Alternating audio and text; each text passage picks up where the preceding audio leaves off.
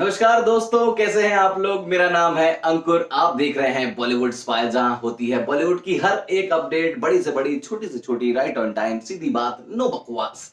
सो so, uh, कुछ दिनों पहले ही मैंने आपको बताया था कि थिएटर्स फिर से खुलने वाले हैं अनलॉक की नई गाइडलाइंस के तहत यानी कि 15 अक्टूबर से थिएटर खुल जाएँगे 50 परसेंट कैपेसिटी के साथ। लेकिन उसी के साथ सवाल ये आता है कि कुछ बहुत बड़ी रिलीजेस थी जैसे कि अक्षय कुमार की लक्ष्मी बॉम्ब हो गई अजय देवगन की Bhuj the pride of India और अभिषेक बच्चन की द बिग बुल ये तीन बड़ी फ़िल्में हैं इनमें से काफियों ने तो ओटीटी प्लेटफॉर्म्स पर कमिटमेंट भी दे दिया है डेट भी फाइनल कर दी है कि भाई ओटीटी पर रिलीज़ करेंगे। लेकिन सवाल ये उठता है, क्योंकि ये बड़ी फिल्म्स हैं बिग बजट फिल्म्स हैं, बड़े सितारे हैं तो बहुत कुछ स्टेक पर होता है, बहुत कुछ दाव पर लगा होता है।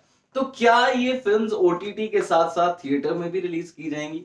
ये एक सवाल है। ऐसी बातें सोची जा रही हैं, ऐसी बातें बनाई जा रही है कि क्या ऐसा हो सकता है। क्या ये साइमल्टेनियसली रिलीज़ की जाएँगी? यानी कि जिस दिन ओटीटी पर आती है, उसी दिन थिएटर पर रिलीज़ होगी। अब ये देखने वाली बात होगी। क्योंकि जब इस तरीके की बड़ी फिल्म्स होती हैं तो प्रोड्यूसर जो होते हैं मेकर्स जो होते हैं, वो चाहते हैं कि भाई, इतना पैसा लगा है तो प्रॉफिट तो निकले कम से कम। और थिएटर्स से नो डाउट ओटीटी के कंपैरिजन में ज़्यादा रेवेन्यू जनरेट होता है, ज़्यादा पैसा आता है। लेकिन अभी ये भी देखना होगा कि अभी सिर्फ़ 50 परसेंट कैपेसिटी ही अलाउड है।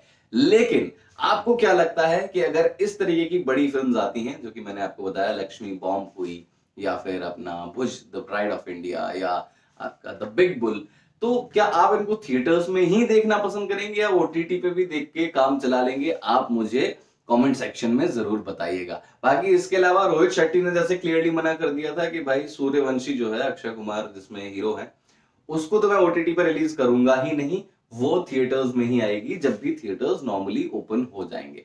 और सही भी बात है, जितना मुझे लगता है कि सूर्यवंशी जैसी फ़िल्म मसाला फ़िल्म है, वो ओटीटी पर इतना मज़ा नहीं दे पाएगी जितना थिएटर में देगी। उसका टच एंड फील ही थिएटर वाला है।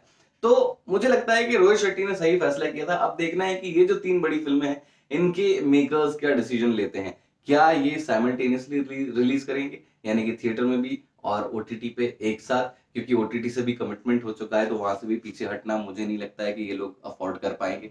लेट्स सी क्या होता है आगे। जो भी अपडेट होगा मैं आपको बताता रहूँगा। मेरा नाम है अंकुर, आप देख रहे हैं बॉलीवुड बाय अपना ख्याल रखिएगा।